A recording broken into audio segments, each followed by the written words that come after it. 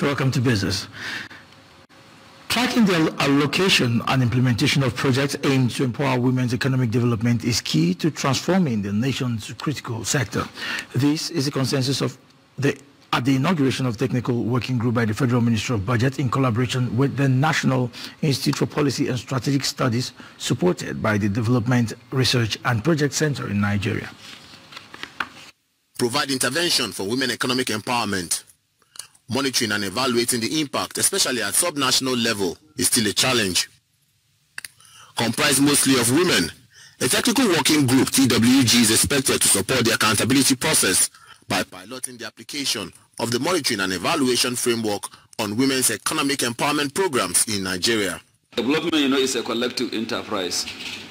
All hands must be in deck. So, so also, you know, is for, you know, for the monitoring and evaluation. So within that framework, you know, we have uh, roles and responsibility for all key actors that will ensure that uh, M&E is delivered.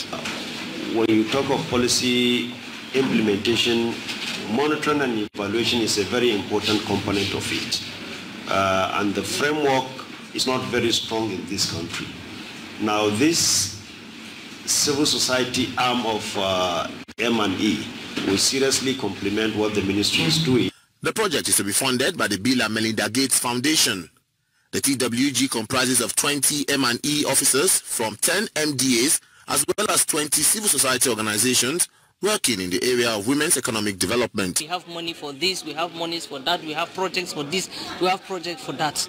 But if you ask them specifically in terms of gender disaggregated data, these things are completely missing. So the technical working group will be able to monitor that to ensure that by number we understand how many women are benefiting. We also ensure that the impact that these projects are meant to have that they really achieve it and that they are affecting women real time. Findings and solutions provided by the working group will provide better data and assist anyone with a mind to improve the contribution of women to economic development in Nigeria.